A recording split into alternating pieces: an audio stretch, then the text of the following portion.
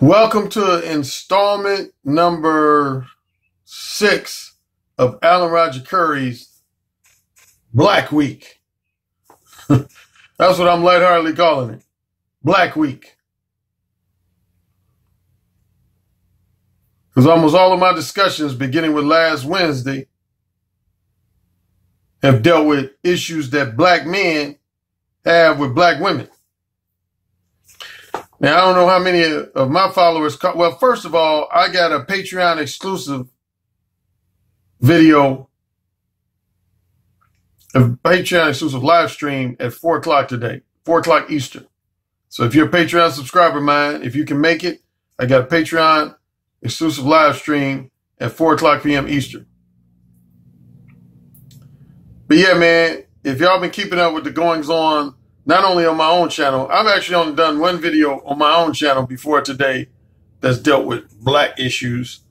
But I've done what? Including yesterday, I've done four.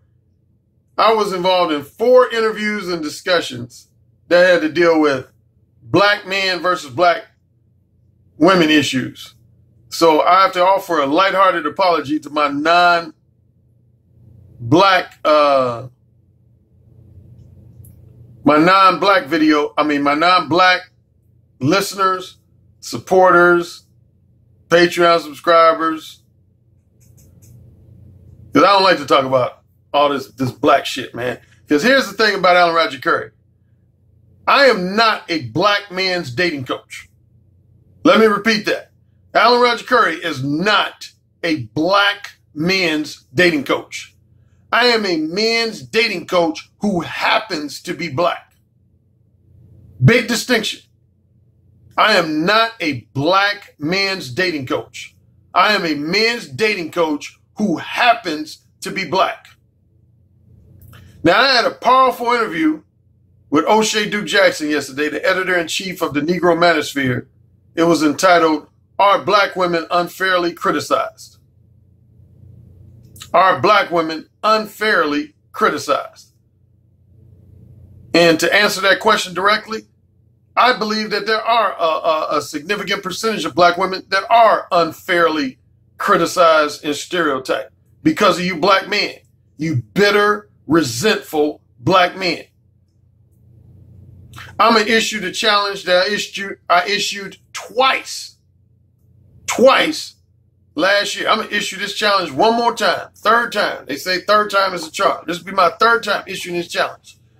While I was being interviewed by O'Shea Duke Jackson, occasionally I would pay attention to what, what was being said about the interview and about me in the, in the chat room. And once again, you had guys making this statement along the lines of, yeah, man, I used to think Alan Roger Currie was cool, man, but since he came on YouTube, he's different. He's changed. I heard that a lot last year. I haven't heard it as much in 2018 as I did in 2017. But there's still a few guys who, who make comments along those lines. Like, yeah, man, you know, I used to think Alan Roger Currie was cool. But yeah, man, he's different than I thought he was, man. He's changed. And the more specific criticism has been that since I've come to YouTube, that I'm more harsh on men. I'm harsher in my criticisms of men than I am in my criticisms of women. And even more specifically, that I'm harsher in my criticisms of black men than I am in my criticisms of black women. And y'all know what I'm about to say right here to kick things off. Insert dog face here.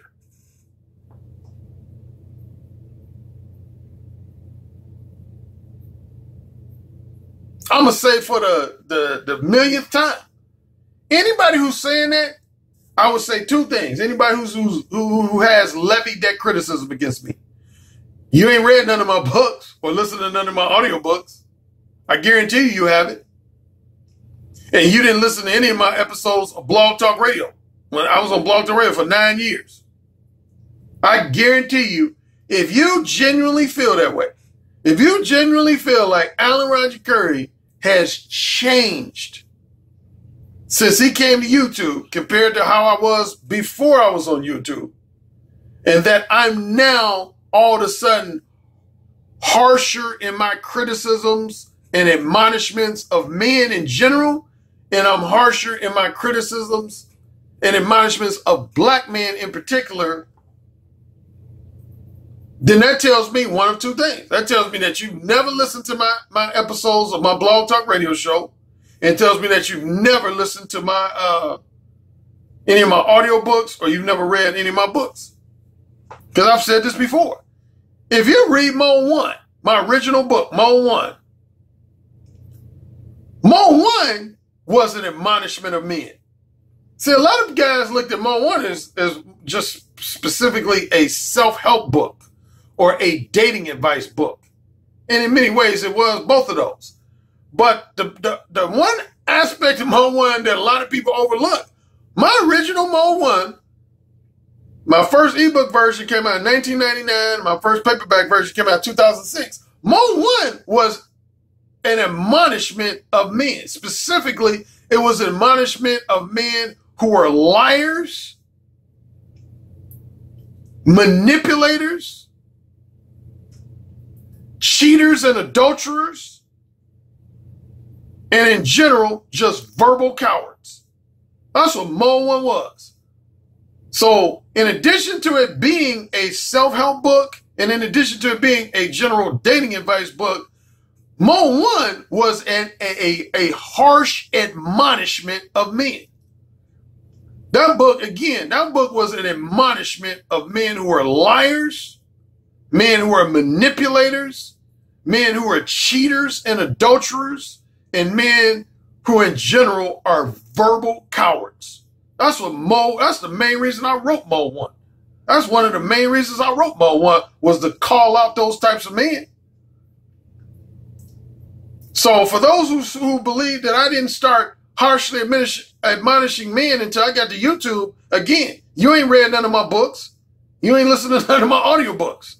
And you didn't listen, and, and even beyond that, you didn't listen to none of my uh, episodes of blog, my blog talk radio show called Upfront and Straightforward with Alan Roger Currie. Man, I admonish guys all the time on my show, uh, Upfront and Straightforward.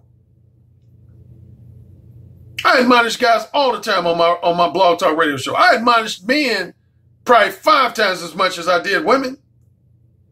I admonish men five times as much as I did women on my blog talk radio show. Another book, Who Said Again. Who Said Again. That's another book that I would say is a self-help book.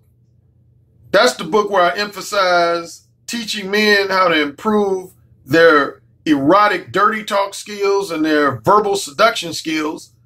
But I spend at least two chapters in that book admonishing men.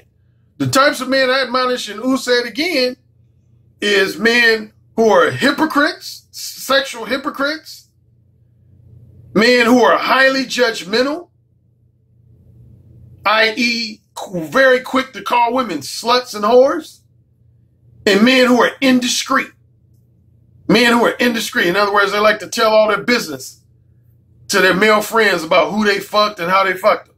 That's the three types of men I admonish and who said again. I admonish, again, I admonish guys who are sexual, what I mean by sexual hypocrites, guys who are promiscuous themselves, but they're quick to criticize women's promiscuity.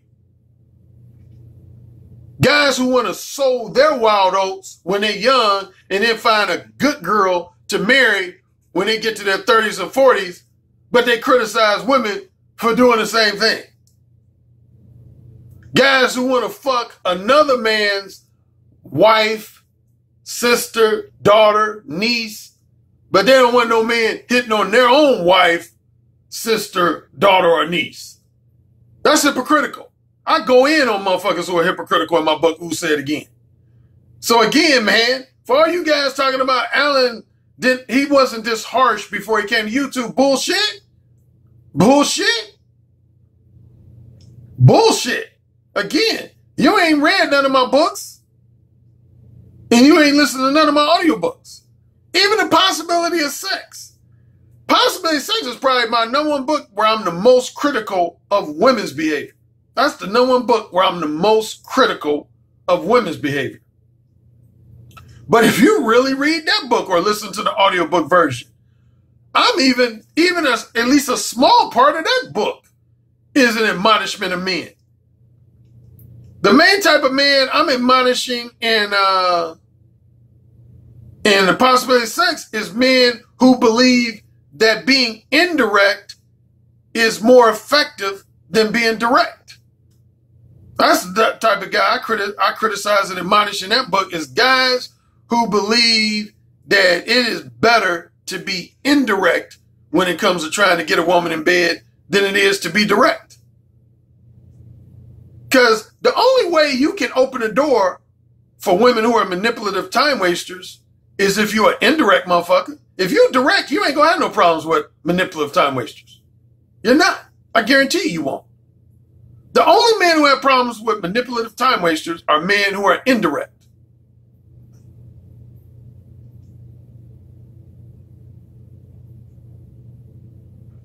So, again, that's the challenge I'm gonna issue to you. Name one thing that about my beliefs, my attitudes, my thoughts, and my general opinions I want somebody in my comment section. Again, I issued this challenge twice last year, and this will be my third time issuing this challenge. Name something about my beliefs, my attitudes, my thoughts, and general opinions that I've expressed in one or more of my YouTube videos that's far different than something I've expressed in my my ebooks, my paperbacks, my audiobooks, or my episodes of my old blog talk radio show.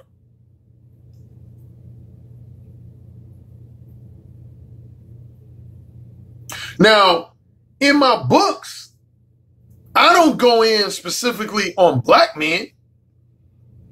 So somebody could make that argument. I don't go in specifically on black men in my books, but I go in on men in general in my books. But on my blog talk radio show, there was at least two or three times I went in on black men specifically. I remember one episode I remember specifically was I want to say it was fall of 2015. Fall of 2015. I remember I would start my shows on Blog Talk Radio just talking about what's going on in my life, things in the news and that type of thing, feedback from my listeners. I remember one show I did in fall of 2000, I think it was either October or November 2015. If I find a specific episode, I'll put it in the comment section. But um, some brother had written me back in October or November of 2015. He said, Hey, Alan, man, I love your blog talk radio show, but I have one minor criticism. Man, you never talk about these no good black bitches out here, man. I would love to hear you do one episode where you just go in on these no good black bitches out here. Man, I let that motherfucker have it on my blog talk radio show. I let that motherfucker have it on my blog talk radio show. I basically told my listening audience, I ain't gonna ever do no show where I do some stupid shit like that. I ain't gonna ever do no show where I do some stupid shit like that. O'Shea was interviewing me yesterday on his channel, and somebody in the chat room said, it's obvious that Alan Roger Currie, because he's light skinned, because he's light skinned, good looking, and has generally had success with women, it's obvious he cannot relate to the everyday normal black man, the challenges of the, the everyday normal black man. Insert dog face here.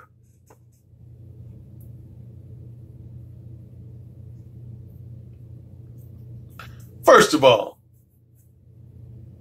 that is so it's so ridiculous it's laughable. I can't even get mad at that because it just makes me laugh. When people bring up this whole thing, now I know you non-black people like, what is this whole light skin thing about? I mean, I thought all you black people were just black. I mean, what, what is, is there different shades of black? I mean, what is this whole light skin versus? Yeah, man. If, if for you non-black people within the black community, there's some guys who believe that guys who are considered light brown, like myself, I'm what's called caramel colored or light brown,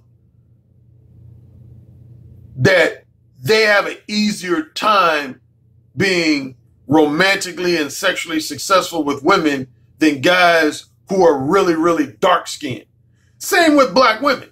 There's a lot of dark skinned black women who believe that light skinned black women have an easier time attracting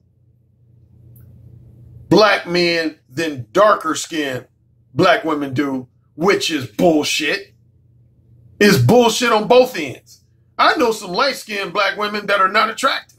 And I know some dark skinned black women that are absolutely drop dead gorgeous. Ain't got nothing to do with the shade. Shoot. Attractive is attractive. Attractive is attractive. Shoot, I've dated a lot of dark, I've dated women all over the spectrum. I've dated black women in my life that were jet black, and I've dated black women that were light, so light they could almost be white, and everything in between. But for those guys who think being light skinned is the key to my success, I'm gonna put a picture, and I hope my frat brother doesn't mind. But I'm gonna put a picture of three of my frat fraternity brothers. Three of my fraternity brothers. Look at the picture. If I can find it, it should be there. If you're looking at it, it should be there. There's that that the picture you're looking at right now is a picture of three of my fraternity brothers from Indiana University in Bloomington, Indiana. Now, are any of those three fraternity brothers light skinned? Do you see any light skinned brothers in that picture? No. But guess what? All three of those frat brothers of mine were very successful with black women. Let me repeat that. All three of those black men you see in that picture that are my frat brothers were very successful with women, particularly the brother who's on the left, the tallest of the three. His name is Daryl. We used to call him Chap. Chap was probably one of the top five ladies, men, and womanizers in my fraternity when I was in college. And as you can see, he's jet black. But he was he was probably if there was a if I was to do a ranking in my fraternity when I was in college of the guys who were the, the top ladies, men, and womanizers, Chap, the brother on the far left, he was probably in the top five ladies, men, womanizers on the campus of Indiana University. He used to he used to pull women left and right. He used to fuck all kinds of badass bitches. And as you can see, he ain't light skinned. He's jet black. The brother on the far right is another brother. We call him J Mac. He was actually after me. He wasn't on campus with me. He was actually on campus a few years after I left. But I still knew his reputation. He was a top notch ladies' man. He was a top notch ladies' man. And the brother in the middle, we used to call him Flea. He wasn't so much a womanizer. He wasn't really into womanizing. He always had like a steady girlfriend. He was more into having a steady girlfriend. But he's like married to a beautiful black woman right now. He got a beautiful daughter. So he wasn't into the womanizing. He was more into like having a serious girlfriend. But all three of those brothers were successful, and none of them are light skinned. So y'all can miss me with this. Alan Roger Currie is successful with women because he's a light skinned brother. That is the most again. I don't even get mad at that criticism as much as I would say it makes me laugh. It's so ridiculous. It's so ridiculous. Excuse me.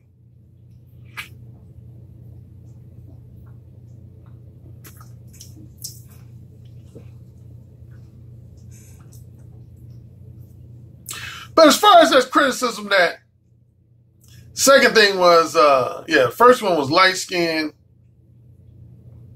good looking. I don't even talk about the whole good looking thing, man. That's again, man. I've known I've known men in general, and particularly black men, who are what most people call average looking that have been successful with women. So anybody who thinks being successful with women is solely about looks you're sadly mistaken. Now, I always offer this disclaimer though. looks are always going to play a factor to some degree. Looks are always going to play a factor to some degree. I've always said a woman has to, there has to be something about you that a woman finds physically attractive. It could be just one specific thing like the color of your eyes or the shape of your head or the fact that you got a muscular chest or you got a big ass dick or whatever it may be. But there got to be something about you physically that attracts women. I mean, if there's just literally nothing about you physically that women find physically appealing, then yeah, you're going to have some problems. I won't deny that. You're going to have some issues.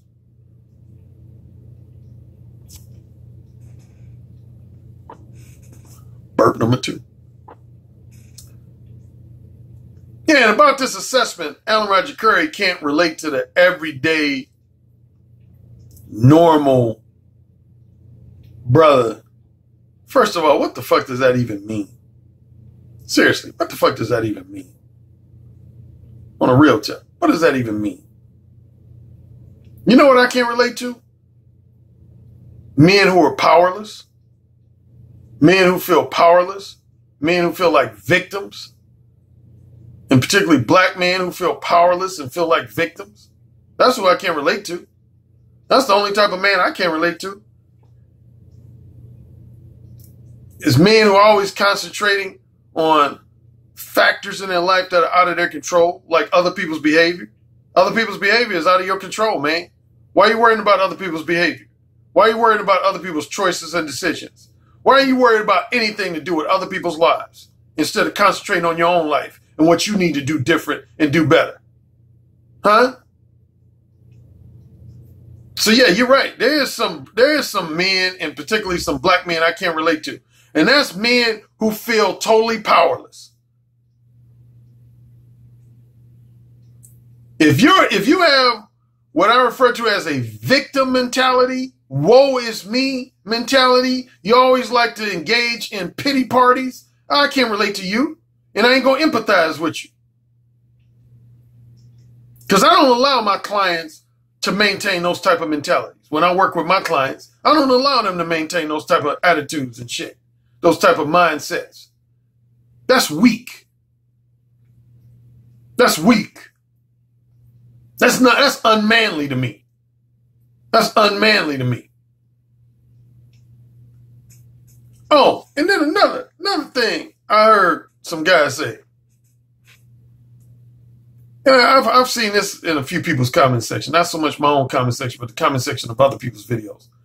Guys, guys were in the chat room when O'Shea was interviewing me yesterday saying, well, Alan, you got to understand, Alan's 55 years old, so he doesn't understand the type of black female fuckery that's going on in the 21st century.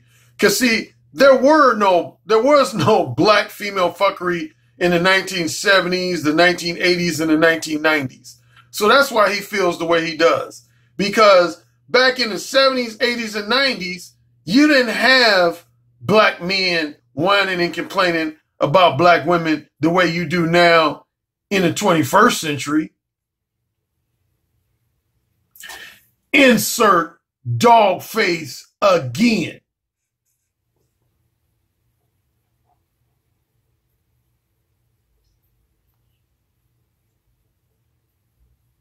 Man, you guys are so clueless, man. Some of you young brothers are so clueless. For any young brother who made that statement, man, you are you don't have you don't have a clue. I'm a I'm a loan you a dollar so you could go to the dollar store and buy yourself a clue. If you honestly think that no black men were whining complaining when I was young, you are delusional. I just mentioned about when I was a college student on the campus of Indiana University in Bloomington, Indiana. We had a small percentage of brothers that used to always complain about the behavior of sisters. Are you serious? And I immediately, I never hung around them because once they showed that side to me, I would immediately disassociate myself from them. And I would say probably 95% of my frat brothers did. Because, see, one thing I'll say about my fraternity brothers, the members of Kappa Alpha Psi, man, we didn't do that shit in our, in our Kappa house, man. Brothers didn't sit around whining and complaining about women, man. If anything, women on campus was always whining and complaining about our behavior. We didn't whine and complain about their behavior. They were whining and complaining about our behavior. I never whined and complained about black women when I was in college. And I would say again, probably 95% of my frat brothers, they didn't whine and complain about the behavior of black women because they was too busy, they were too busy fucking them and dating them. They didn't whine about them.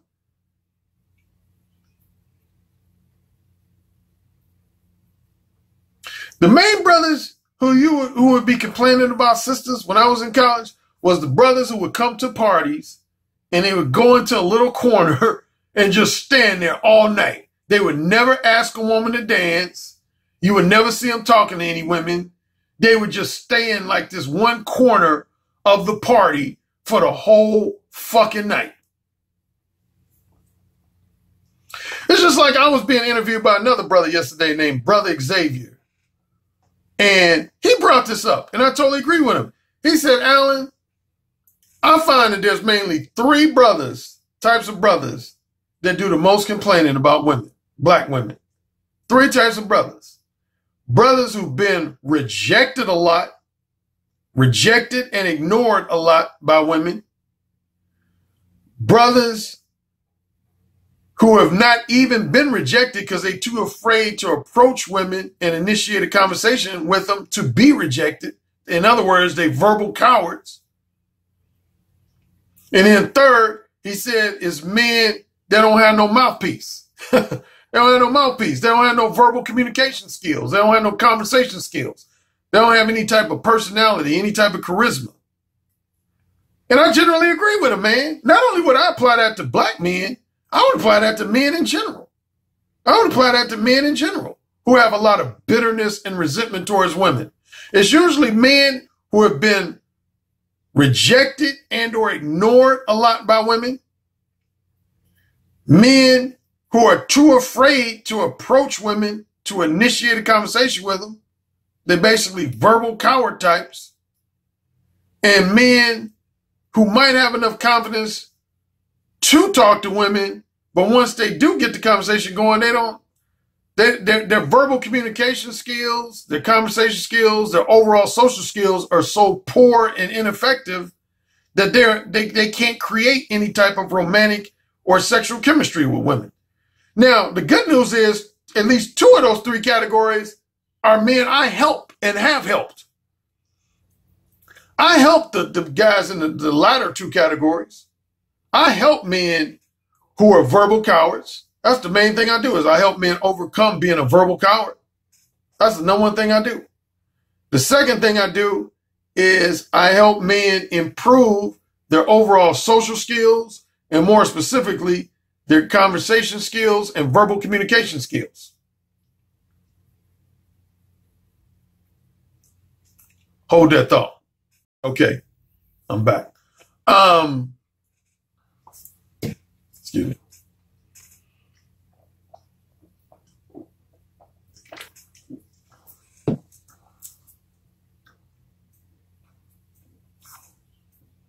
it's funny when I hear those silent burps. I just burped like three times in a row, but it was very silently. Um, yeah, I helped two of those three groups that Brother Xavier talked about. Men who are verbal cowards and men who have poor social skills and, and verbal communication skills. Now, the one brothers I can't really help. If you're a guy, I've always said Mode One is not designed to help men prevent rejection, delay rejection, or minimize the egotistical sting of rejection. So I always lay that out up front. I'm not in business to help men offer men any type of guarantee any type of guarantee that I can help them prevent rejection, delay rejection, or minimize the egotistical sting of rejection. I just help men better accept and become unfazed by the rejection that they do experience. It's just like I always compare it to being a baseball player. Most, in order to be a top notch home run hitter, you have to be a baseball player who is unfazed by the idea of striking out. Period. It's like if you're a baseball player and your aspiration is to be a top notch home run hitter, but you're very fearful of striking out or you allow striking out to significantly bother you, you'll never be a top home run hitter. Because most of the home run hitters in the league, in Major League Baseball, are also the, the leaders of the league in strikeouts. That's just a fact. Like Michael Jordan said in an infamous, uh, I shouldn't say infamous, a famous commercial he did, a real well done commercial he said. Michael Jordan basically talked about how even though he's remembered for a lot of his game winning shots, he basically said in this commercial that he missed more game winning shots than he, than he uh, successfully hit. But he said the reason why I'm successful is because I'm not scared to take that game winning shot, even if it might miss.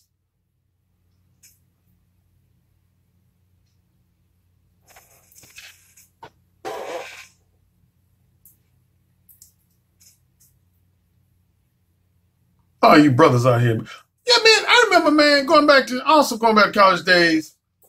See, when I was in college, there was two types of brothers. There was two types of brothers. And I would say probably to this day, there's these two types of brothers. There were some brothers who didn't really care for black women, but they showed it more through their actions than their words. They showed it more through their actions than their words. Like I knew at least a handful of brothers on uh on the campus of Indiana University when I was in college.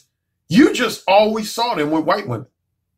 You never saw them with black women. Now I ne- I would never hear these brothers disparage black women. They would never say anything negative about black women. They just you just never saw them with black women. That you know, so I would put them in the category of actions speak louder than words actions speak louder than words. Like there were a lot of athletes like that. There were a lot of athletes like that. There are a lot of black, I would say no less than probably one third of the black athletes on campus, they didn't mess around with black women. But you would never hear them dogging out black women. They just wouldn't mess around with them. They, you would always see them with a white woman. Yeah, you wouldn't see them messing around with uh, black women, but they wouldn't like be whining and complaining about black women. Then there was that other group I've already mentioned that there was always a small percentage of brothers on campus, man. Anytime I was at at the, the, the basketball facility playing basketball, you would hear certain brothers sitting on the sidelines dogging out sisters, saying they got too much attitude and they were hard to get along with. And those, those brothers were typically brothers who wasn't getting no pussy. They weren't getting no pussy. That's what those brothers were. Those brothers were brothers who wasn't getting no pussy. They wasn't getting no white pussy. they wasn't getting no black pussy. And they wasn't getting no pussy, period. And that's why they were so frustrated. Because they wasn't getting no pussy. And I said that on O'Shea's show yesterday. I said it's only two types of men who do a lot of whining and complaining about women. It's only two types of men who do a lot of whining and complaining about women. And that's men who ain't getting no pussy at all they ain't had no pussy in the last year, the last two years, last three years, last four years. Or at minimum, men who might be getting a decent amount of pussy, but the quality or caliber of the pussy they're getting is far below their standards. It's far below their standards. Because if a man wants high quality pussy and he's getting high quality pussy, then the logical question is, what does he have to complain about? And I'm dead serious in asking that question. What does he have to complain about? If you desire high quality pussy and you're getting high quality pussy on a regular or semi regular basis, what do you have to complain about? Honestly, what do you have to complain about? It wouldn't make no sense for you to be on, on YouTube complaining about women. That would make no sense.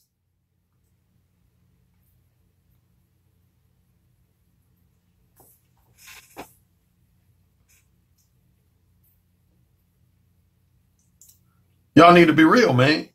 A lot of you brothers need to be real, man. Your social skills ain't up to par. Your mouthpiece ain't up to par.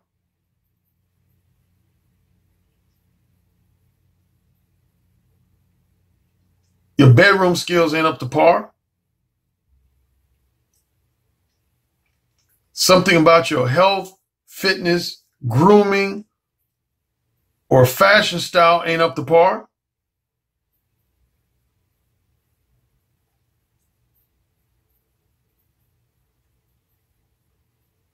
And probably most profoundly, you got too much negativity in your energy, in your vibe. Everything about your vibe is negative. Women can sense that. Women can sense that. I, as a man, can sense it. I don't like to be around negative people. A lot of times when I'm at social events in person, I can I can sense when I'm around a negative person. Just their whole vibe. Their whole see, well, a lot of you don't know, and I've mentioned this a few times, man. We as human beings, you might not be able to see it with the naked eye, but we all have like a, like a what I would call an energy aura around us. We have a certain energy aura around us, or again, what I like to refer to as a vibe, an energy vibe. Like a lot of people who are into like new age, um, what's that called? New age There's one word I'm missing. Where they talk about like ch- chakras and all that type of stuff. Um, New Age, I, I, I almost want to say mysticism, but that's not what I'm talking about. I can't remember. But um, yeah, you you've you've probably run across podcasts where people be talking about stuff like energy fields and chakras and all that type of stuff. Uh, tantric energy, um, yeah, man, we all have a certain energy, man. And at different moments in time, man, your energy can either be positive or it can be negative. It can be loving or it can be hateful. It can be forgiving or it can be unforgiving. It can be empathetic or it can be unempathetic. Everybody gives off energy. If you remember that story I told a couple of YouTube videos about this woman, I remember I had a conversation with on one of my episodes of my blog talk radio show. I'm gonna tell it for probably the third time, but there was a woman who called into my show, and at first she was lightheartedly trying to give me some some some problems. She called herself criticizing me. And within minutes, I had her, you know, having love for the king, King Alan Roger Currie. Anyway, we ended up talking a couple days later, uh, privately. And she made this comment. She said, Alan, she said, you're misleading a lot of your clients and followers. And I said, how so? She said, because you're making your clients and followers believe that they can just go up to a woman and say XYZ and they'll just all of a sudden magically have these women in bed. She said, that's not true. And I said, well, I've never told a man that he could ever magically have any woman in bed just by saying XYZ.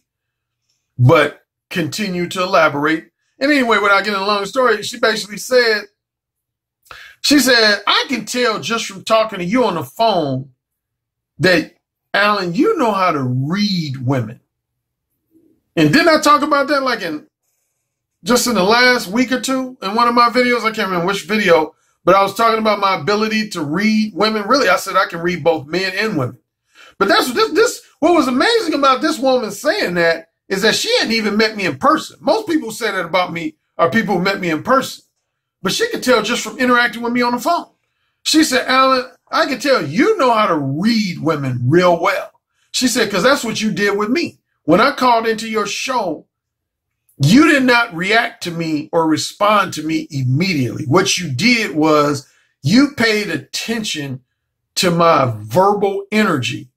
You paid attention to my vocal energy, the vibrations that my verbal energy was giving you.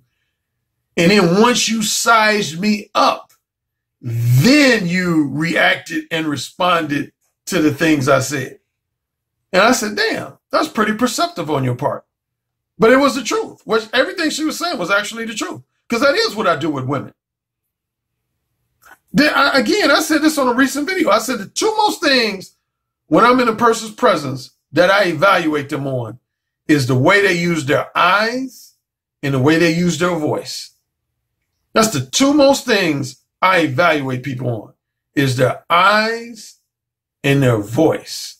Their eyes and their voice. Not only would I say that's true of women, but even men. When I interact with men, when I first meet a man, that's the two most things I pay attention to is how he uses his eyes and how he uses his voice. Because you can generally tell, man, people who are full of shit by the way they use their eyes and their voice. And that's real talk. You can, for a guy like me, I can quickly distinguish between real, authentic, genuine people versus phony, two faced, full of shit type people just by their eyes and their voice. Just by their eyes and their voice.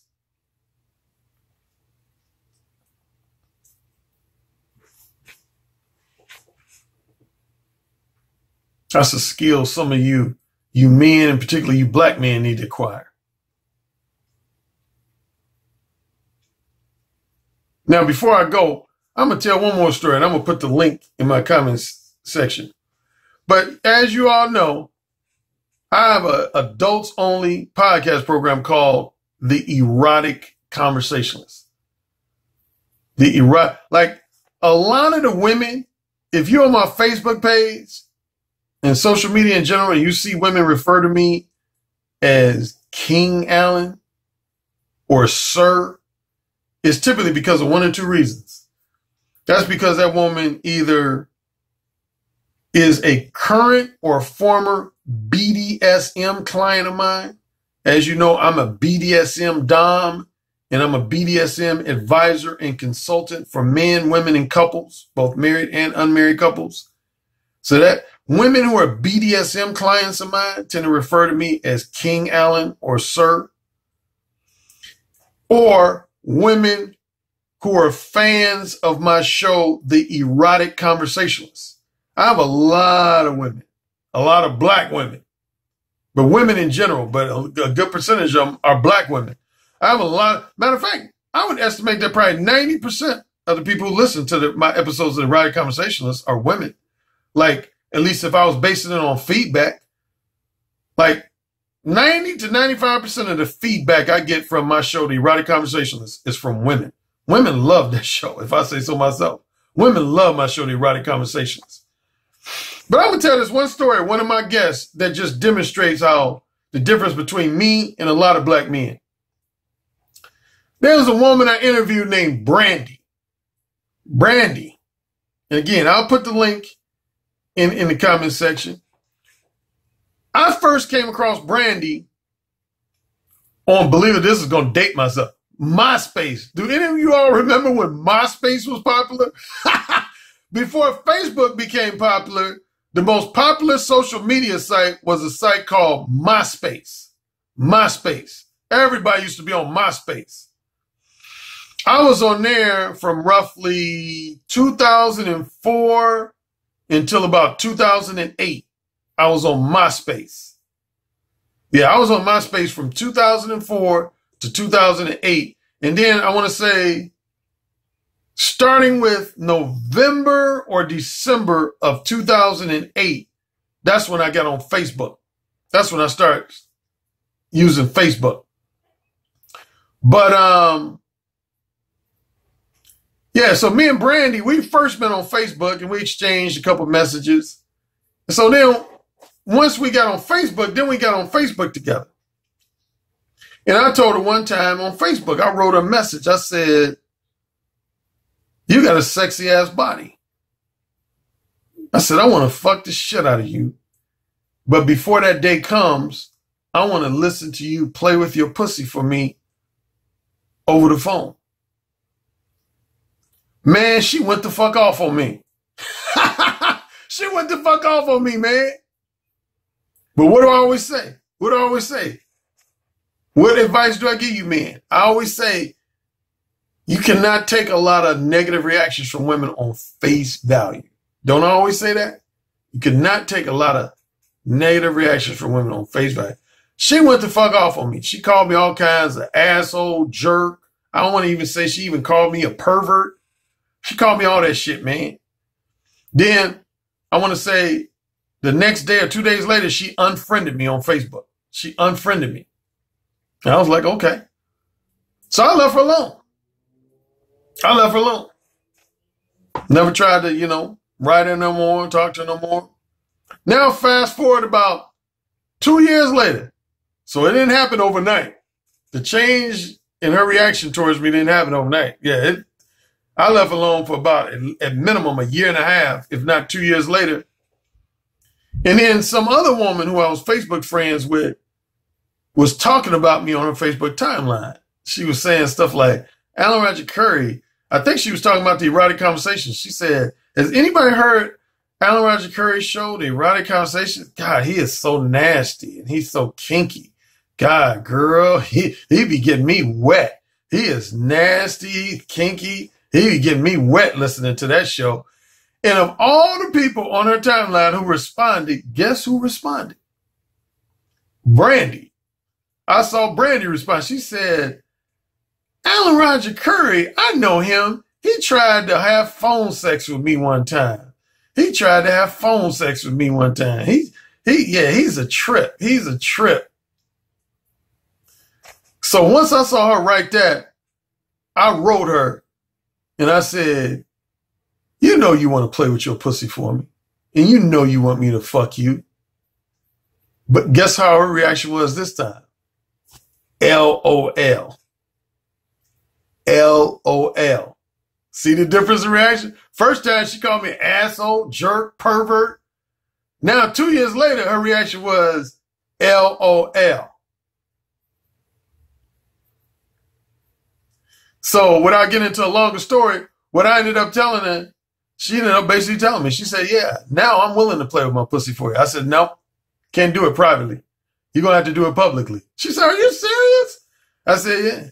I said, the only way I'm gonna let you play with your pussy for me now is if you do it publicly on my show, The Erotic Conversations. Otherwise, I'm not gonna let you play with your pussy for me.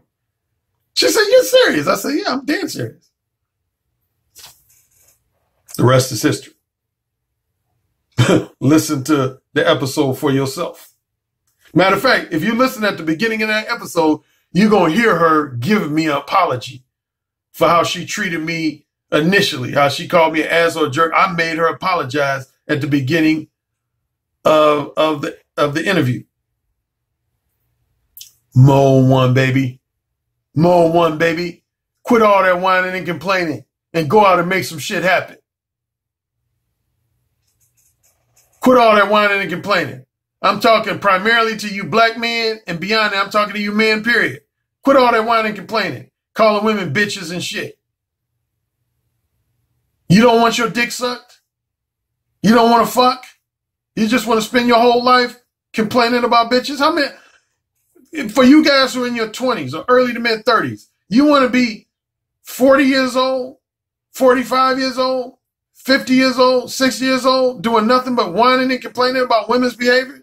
Is that the life you really want to create for yourself? I mean, seriously, is it?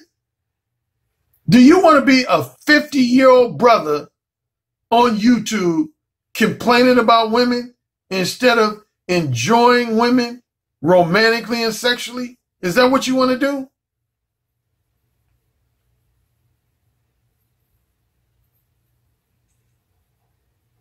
That ain't what you want to do.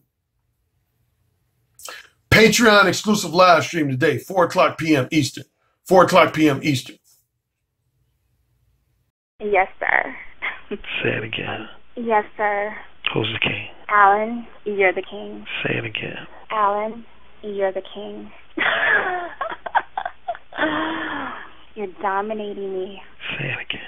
Alan, you're dominating me right now. Mode one. Mode one. Can I go? Daddy, can I go, please? You're the king. Say it again. Oh, king. oh you're the fucking king. Yes. Yes. Yes. Oh. Oh. You're the king, Alan. AKA the king of verbal seduction. You know, it's the tone of your voice, how seductive your intonations are, the vibrations that you could just reach out over the phone lines and stroke a woman's breast just by the sound of your voice, how you could make her pussy so wet just by the sound of your voice. That's actually very hot. So you said my show was what? I said your show is powerful. Oh, say it again. Your show is powerful. I bet the king would fuck me really good. Who's the king? Alan Roger Currie. Oh, yeah. Who's the king? Alan Roger Currie. The king. The king. The king.